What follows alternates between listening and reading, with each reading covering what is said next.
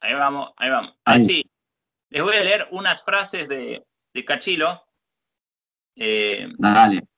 Como para por ahí provocar un poco esto, esto de la antiindustria cultural también. Porque, bueno, decía así, ¿no? Una es cadáver, resto, disculpe si molesto. Sí.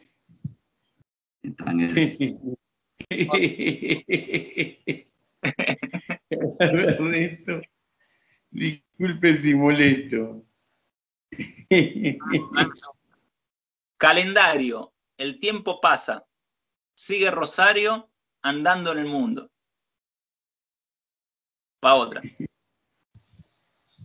Cartero, hombre hormiga, basurero, mosca, diga. Rosarino, Ciudad Rosario. Ciudad Rosario, Argentina. Los argentinos y rosarinos somos pobres naturales y los franceses y parisienses son ricos eléctricos artificiales. Hoy, 29 de agosto de 1985, criollo norteño. Conviene saber, se vive según la edad que se tiene.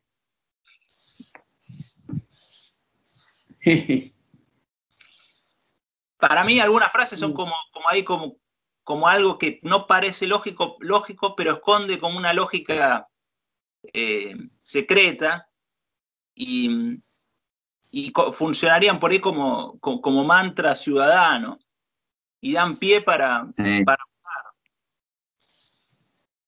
Sí, muy ciudadano y, muy, yo iba a decir de, que apela a un sentido común tanguero, pero rosarino, este, en, en, en esa clave, ¿no? En ese clave o código más, más lumbar,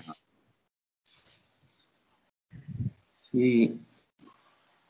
Pero también, este, a mí siempre me, me, ha hecho ruido cuando dicen, cuando, se habla de industrias culturales, porque me parece que es como una trampa que favorece más a, a los productores grandes, más que, más que los trabajadores de la cultura, ¿no? Y me acuerdo que en, que en algún momento, cuando estaba para hacer el encuentro de Mica, que era un encuentro de de, industrias culturales, no me acuerdo la, qué, significaba la sigla. Entonces, tucumanos iban a viajar a, Buenos Aires a esas reuniones, muy de lobbies y, qué sé yo. Y, con Emiliano Guardia, nuestro amigo, hicimos manifiesto, y Estrella Quiroga, hicimos un manifiesto que era el Tuca, en vez de Mica. Y bueno, por ahí debe andar guardado. No, yo estoy de acuerdo en que la industria cultural es, es también un, mecanismo y que es funcional a cierto poder, pero también a veces hay que descifrar y lamentablemente hay que reproducir algunos mecanismos de esa industria para, para subsistir. Sí, claro. Claro, eh, es, como lo que decías de, de las cuestiones de clase que, que se reproducen en, también en el pueblo, ¿no? A veces cosas de... Eh, sin caer en... Ricos pero, pero no, no, no, en el mejor de los casos. No, digo cayendo en el, en, el hecho de identificarse con aquello que uno combate, sino en el sentido de, por ahí de, que una de las herramientas que toda resistencia tiene que utilizar muchas veces son eh, herramientas que se parecen a las que puede usar tu, enorme rival, ¿no?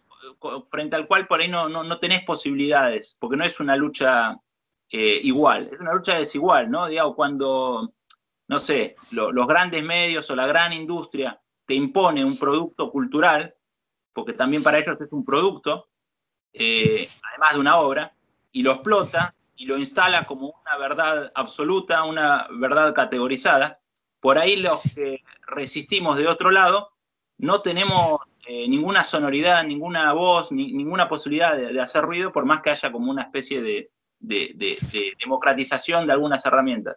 Para poder acceder a, esa voz hay que imitar algunas de esas conductas que usan esos grandes monstruos de, la industria.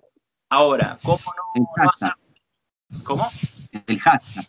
Es el hashtag. O sea, cuando en las redes, eh, te debe pasar, este, Lorenzo, cuando en las redes publicás algo que querés ir por fuera de, esa ola, por, por de, de, una forma lo que está diciendo tal, eh, o ese torrente, eh, te quedas afuera de todo, no, entras al, ni siquiera al, campo de batalla ni al campo de discusión. Entonces, la cultura hashtag es entrar justamente por la tendencia. Y, por más que después es algo que te vaya, eh, eh, ahí está la habilidad nuestra que, deberíamos tener nosotros, y digo nosotros los, que consideramos insurgentes o, resistentes a esos mecanismos mainstream, pero hashtaguear y ser eh, habilidosos como para no, eh, o sea, dentro de la ola, marcar otra tendencia, ¿no? No sé si me Ahí, me meto un, toquecito rápido, digo, ahí tenemos que también, justamente, no reproducir la mezquindad con, esa información que, que, ocurre, porque veo que también eso, cuando hay un par que descifran un par de, de empiezan a utilizarlos, no lo comparten. O sea, entre, es como no ser eh, generosos entre pobres, digamos. Entonces, está esta cosa, ¿no? Del artista que quiere separarse y creer que tiene un estatus superior porque descifró un par de, maneras. Y entonces caemos en la misma, en la misma trampa. El sistema está pensado para eso. Entonces, digo, claro, ¿qué pasa? ¿no? Y de, dónde nos bajan también esos hashtags, ¿no? De hoy tendencia, no sé, hacer eh, jueguito con la pelota o, lo que sea para los Sí, de TikTok. claro. Vos sabés que había, vos sabés que hay un tipo que, por ejemplo, estaba en el mundo de la cultura y un día lo escucharon decir, eh, a ese libro no lo fabrican más. Es medio, o sea, está empleando mal el verbo, o sea, a ese libro no lo, en lugar de decir a ese libro no lo editan más, dijo, a ese libro no lo fabrican más. Es bueno. No se dice, sí, ¿viste? Pero, pero bueno, el vago tenía sus limitaciones. No, pero al revés, Lorenzo, a mí me gusta, ahí, me gusta ahí porque detrás de eso también hay una denuncia. Ah, lo fabrican, porque es un libro, es una cosa fabricada como, como cualquier producto, cualquier mercancía corriente. no, no, pero, pero él no lo decía por eso, o sea, Claro, lo visibiliza. Pero aunque no lo diga por eso, me explico, aunque no lo diga por eso, uno puede tomar y decir, hay una provocación también ahí. Por ahí él nunca supo que lo decía por otro motivo, pero fíjate cómo ahí la palabra termina de ¿qué diferencia hay entre un libro y, una taza? ¿Entendés? Eh, nosotros le asignamos otro valor desde otro sitio, pero para la mente capitalista no hay diferencia. Es un producto, ¿cuánto rinde? ¿Cuánto, cuánto se invierte y cuánto me deja? Sí, sí. Se metió en el hashtag. No sé si sabés que, en, general, los antiperonistas siempre lo, acusaban al peronismo de que por ahí llevaba, llegaba, llevaba gente bruta a puestos públicos. Y en la primera en la primera presidencia de Perón, había un, yo no me acuerdo si era ministro o era gobernador de la provincia de Buenos Aires, pero se llamaba Aloé, Aloé, Aloé. Pero le decían Aloé todo el mundo. Y lo cargaban porque él no tenía roce, así, era medio, medio ignorantón. Pero bueno, se desempeñaba como podía. Y entonces este, los, los Contreras del peronismo hacían chistes que dice que estaba Alue comiendo con Perón y Evita y habían traído caracoles, pero él no sabía comer caracoles, entonces lo masticaba con cáscara y todo. Entonces Evita le decía, Alue, saque el bicho, saque el bicho. Y él le decía, señora, no me pida eso.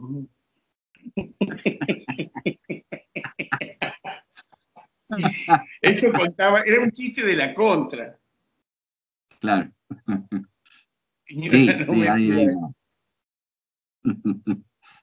Una gramática constante que todavía subsiste de, ver al peronismo así, ¿no? Claro, claro. Y, resulta que mi. te termino con esto. Resulta que mis viejos, cuando yo era pibe, eh, eh, se acordaban de ese alue que cuando dan el golpe a Perón, este, parece que al primero que fueron a agarrarlo y meterlo preso fue a él, porque le tenían bronca, no sé por qué. Entonces parece que le pegaron, lo amenazaron, no sé, y lo hacían decir por el micrófono cosas autoinfamantes. Entonces, para aquella época.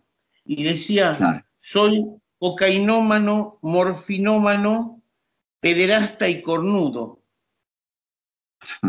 Después decía, soy homosexual pasivo, y lo hacían decir toda una serie de cosas que él no quería decir, pero que lo, presionaban para que él dijera. Y era como una burla.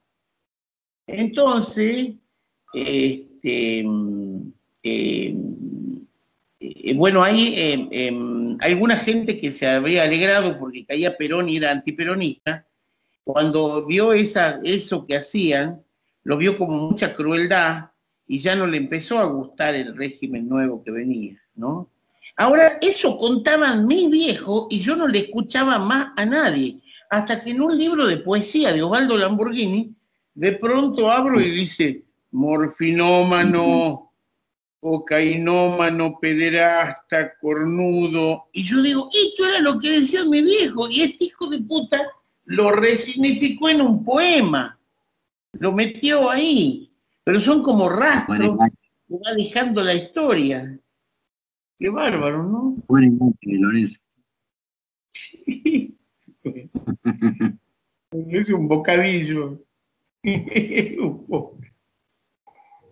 Resignificar, ¿no?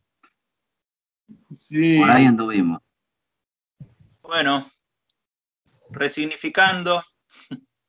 Sí, así que, este, Resignificando nos vamos entonces.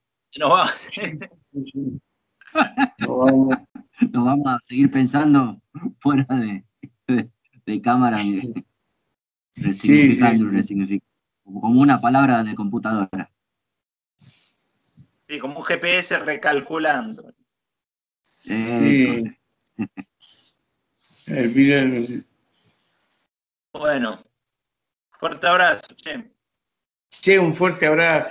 Che, bueno, hermanito, vos que estás cerca, te deseo, y vos que estás tan lejos, también te deseo una gran, que nos veamos pronto, que yo pueda ir para allá. Meta, te esperamos, te esperamos acá por, por el pie del cerro. Y bueno, ya veremos este, cuándo nos conectamos de vuelta. Sí, sí, sí, sí. Yo mientras no me pueda ir a Rusia, me voy al pie del cerro. Mira ahí. Por lo menos más fresquito que el centro va a ser. Un, está hecho un infierno. Y esto recién empieza. Nos vemos. Chao, chao. Chao, nos vemos.